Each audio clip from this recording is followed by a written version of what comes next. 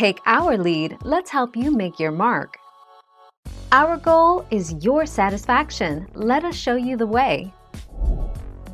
Cops have recovered DNA evidence from the crime scene where two girls, 13-year-old Abby Williams and 14-year-old Libby German, were found murdered. Now police say they have recovered DNA evidence and have asked the lab to fast-track the vital clue.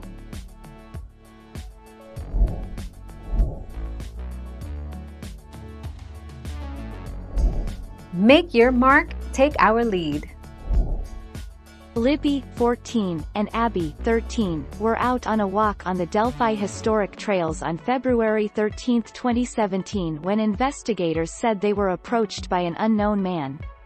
The girls' bodies were found the next day in the woods about a mile off the main trail. 15 February 2021.